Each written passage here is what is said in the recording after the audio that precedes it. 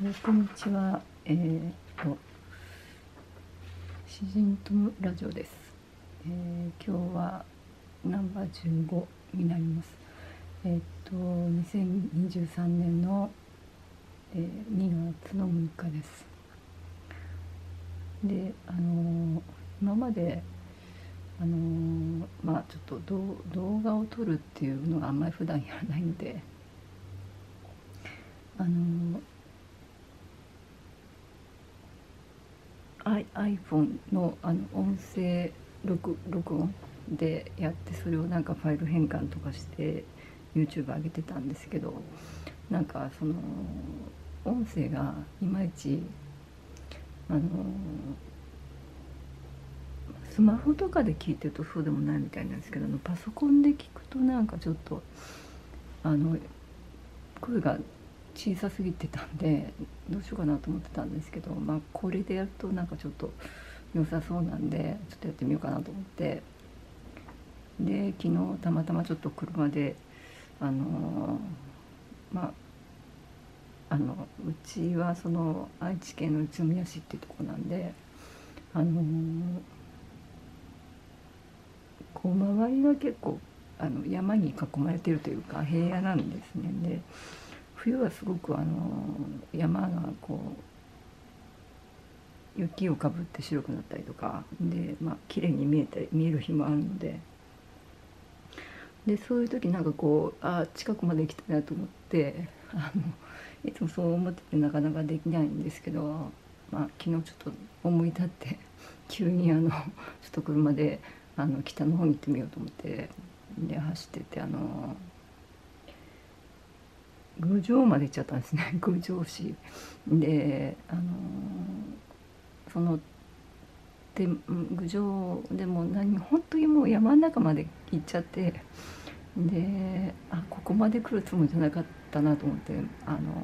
本当は何かこういい場所があったらそこへ行って入ってんで帰ろうかなと思ったけどなかなかただ寂しいだけの場所になっちゃったなっちゃってたんで。あの U ターンして帰ってで、まあ、郡上の中道の駅とであと美濃美濃市のにも道の駅があるんでそこに行って、うん、そしたらその美濃の方はあのこういうちょっと草花っぽいものとかが 売っててあの花屋さんみたいにで可愛いなと思って買ってきたんですね。で普段あの自分用に花とかはまず買わないんですけど あの綺麗だなと思って買ってきましてであの結構量があったんであの、まあ、3つに分けてこうやってあのこれとかこれ菊みたいなんですけどちょっとあの葉っぱがもう昨日買ったばっかりなんだけどもうすでになんかこうくたびれてるんですけどね。でこれがこれも何かわかんないんですけどあの猫柳みたいなのなのかなって感じでこれ花が咲いてくるかもしれないんですけどもこれ1個取れちゃったんですそれをここにあの菊を生けて可愛いですよね。でこれもまあその猫柳っぽいやつで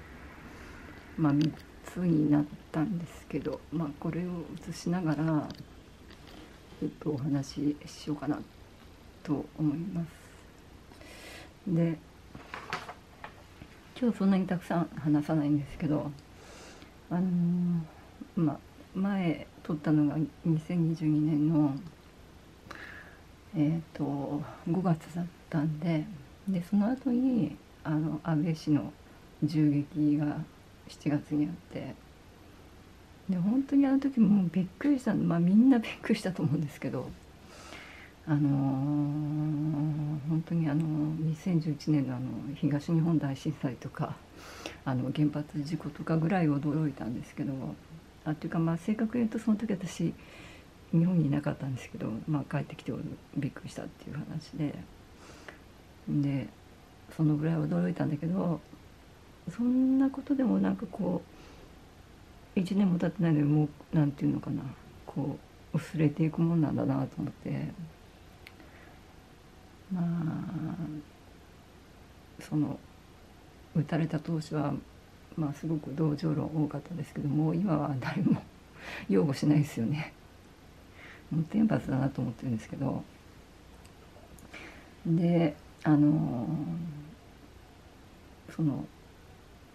まあ銃撃したしあの山上さんっていう人のことは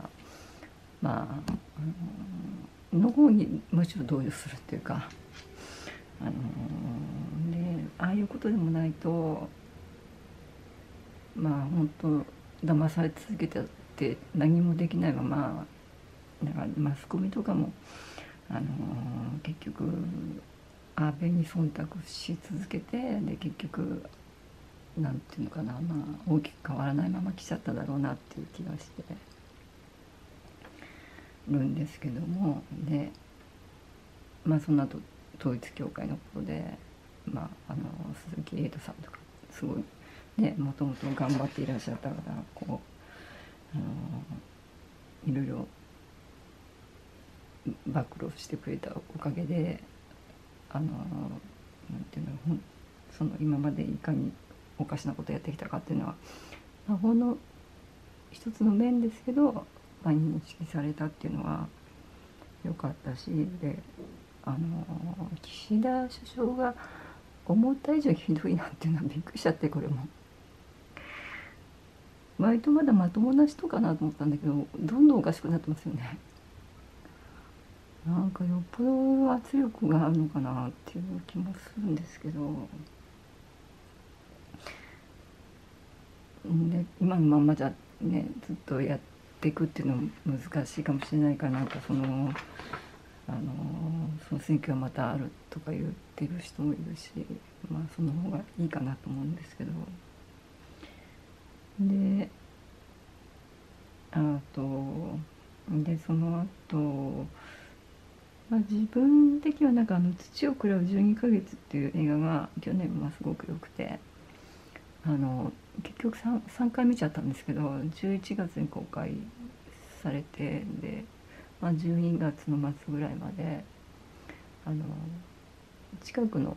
映画館で2回見てでそこがもう終わっちゃったからあの伏見の名古屋の伏見のあとなんていう名前だかな。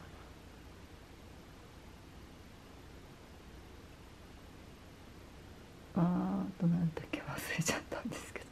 んですけどミリオン座だったかな？ミリオン座だったかな？あの伏見ミリオン座だったかな？そこで3回目見てでそこに行ったらなんかあの「戦場のメリークリスマス」と「ラストエンペラー」をやるっていうのがあったんでで今もうやってるんですけどあのあこれ見に行きたいなって2つとも見に行きたいなとかですね。あとまあキムタクが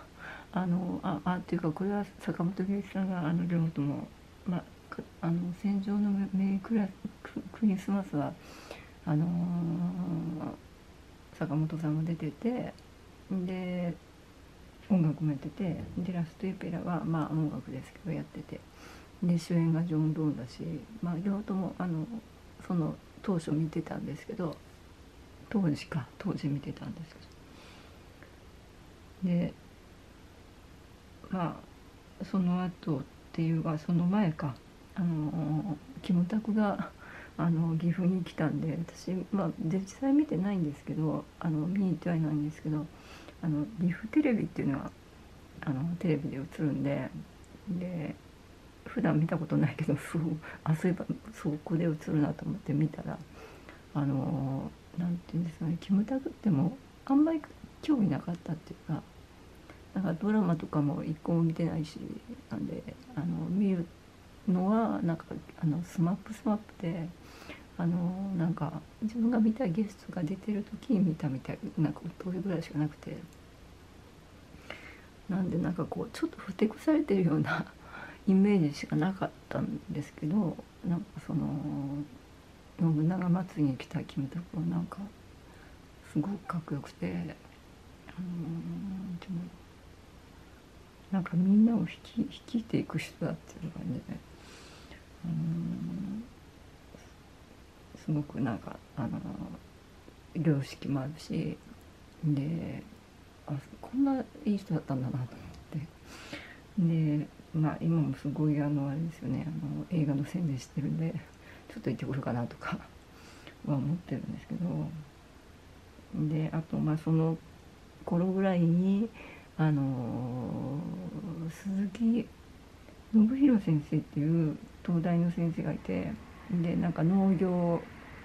関係農業経済学だったかな？そういうのを専門されてる方でもともと農水省の官僚だった方なんですけどでその方のことは、まあ、前から知ってたんですけどなんかツイッターとかで見るようになってそしたらなんかあの日本の酪農がもう本当にもう消えかかりそうだっていう今状況になっちゃってるっていうことを知ってもびっくりで。でそれはそれでまたなんかこう鈴木先生、ま、毎日ツイッターあの投稿されてて。で今もなんかもう本当にもう毎日のように各地で講演会してるんですよね。そういうあの日本の農業が危ないっていうのでもうなんか消費者も一緒になってあのなんか支えていかなきゃいけないとかいうことをみんなに広めててであの